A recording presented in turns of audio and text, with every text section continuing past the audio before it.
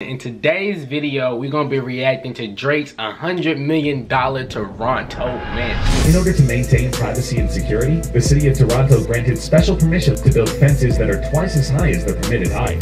Master bedroom area includes two dressing rooms and a steam room. When he's in more of a mood to relax, the In My Feelings singer has a glamorous lounge that features a grand piano and a massive marble double-sided fireplace with rows of gray sofas and chairs for seating.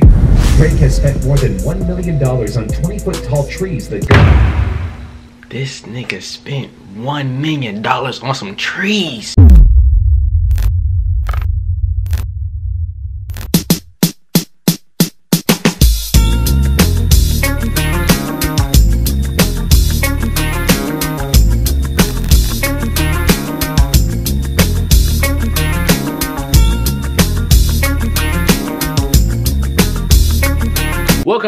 Video on the channel, you feel what I'm saying? In today's video, we're gonna be reacting to Drake's $100 million Toronto mansion. If you anything like me, you broke as hell. I'm playing, I'm playing. So as y'all know, Drake is a GOAT. Drake is like top tier. Drake is the top of the top. He's the most elite. Drake is probably the most recognizable rapper in the game right now. Drake is Drake. Personally, personally, he overrated. However, however, my favorite album has to be Nothing Was the Same you know, I feel like that album has no skips on it. You know what I'm saying? You can listen to every song and get something from it. I ain't trying to take nothing away from the man. You feel me? The man got bands, the man got bank. The nigga got a $100 million Toronto mansion while I'm living in a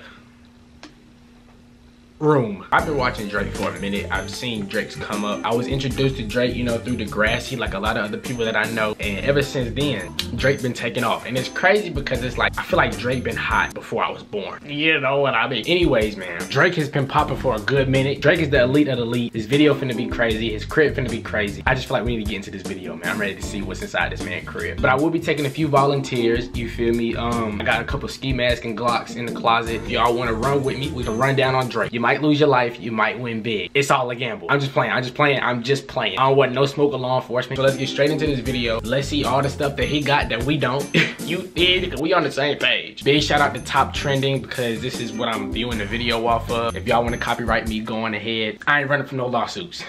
You feel me? Don't sue me, I'm just playing with y'all. Make sure you stay tuned for the whole thing. Make sure you like, comment, share, subscribe on this video. Thank y'all for coming to the video on this channel because at the end of the day, y'all got to. But I appreciate you because you here.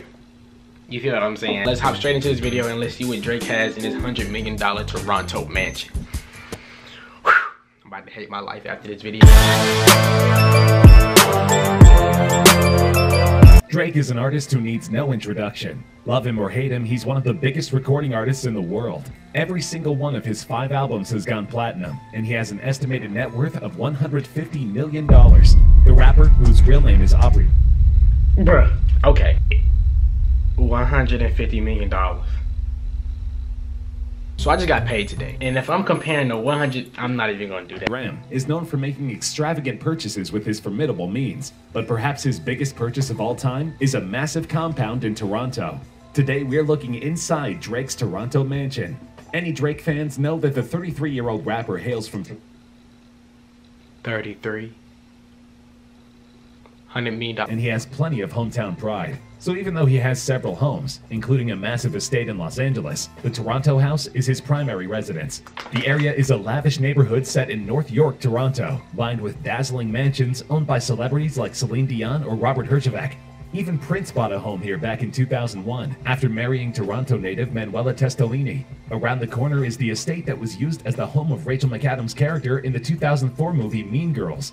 Drake had big plans for the Bridle Path lot, and he soon started putting them in practice, with his palatial 35,000 square foot mansion starting to take shape. Okay. And okay. If you're anything like me, I know what a square foot is. Okay, I'm not dumb. I graduated high school. you baby. But I can't even, I can't imagine 35,000 square feet. If my room is goddamn half a foot, I don't know what I'm talking about. He constantly kept fans up to date with the progress, sharing videos on Instagram of the construction work underway. The impressive property is valued at $100 million and sits on over two acres of land. The crib features a special awards room and an indoor custom OVO NBA regulation size basketball court. I saw that, OVO damn. is short for October's Very Own, the Duh. name of Drake's record label. I didn't know The that. Toronto Raptors superfan posted a video of himself on Instagram in which he can be seen scoring a fadeaway jump shot from the extravagant top level down to the hoop below. His impressive athletic facility even attracted music producer DJ Khaled, 44, who visited his friend for a game in the OVO Center. When he's in more of a mood to relax, the In My Feelings singer has a glamorous lounge that features a grand piano and a massive marble double-sided fireplace with rows of gray sofas and chairs for seating.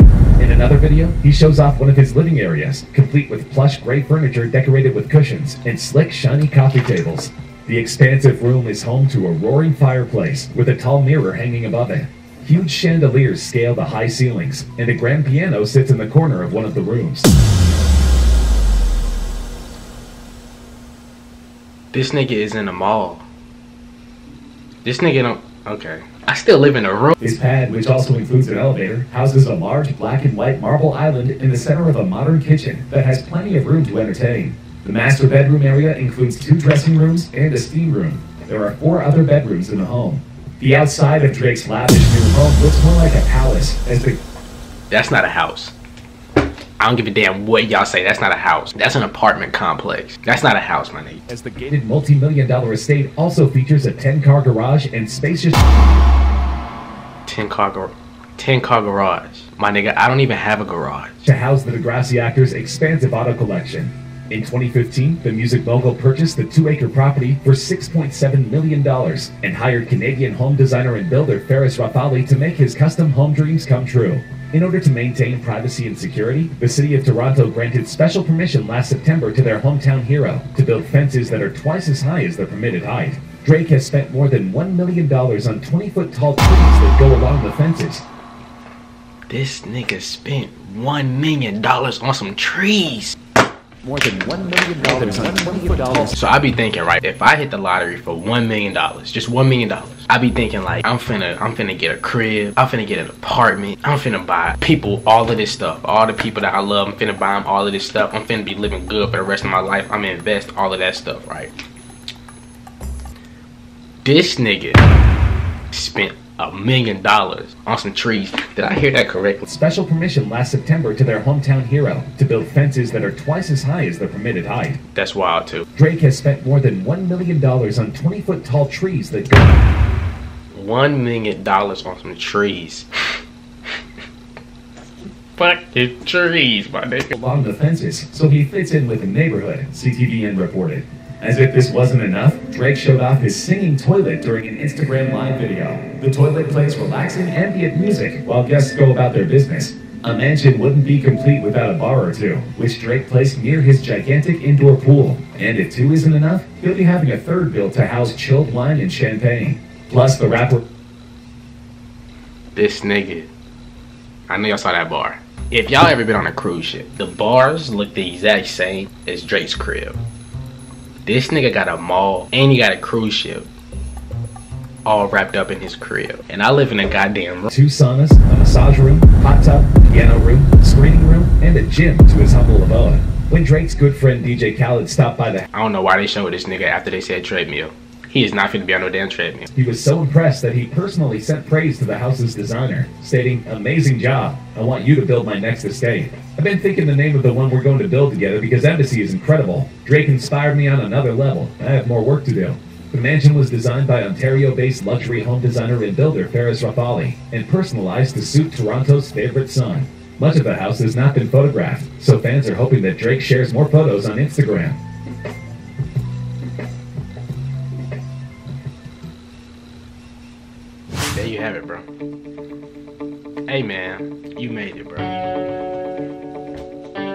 And I still live in the room. If y'all still want to take that offer up, I got the ski mask ready, I got the Glocks ready. You might lose your life. I'm playing. I promise you I'm playing.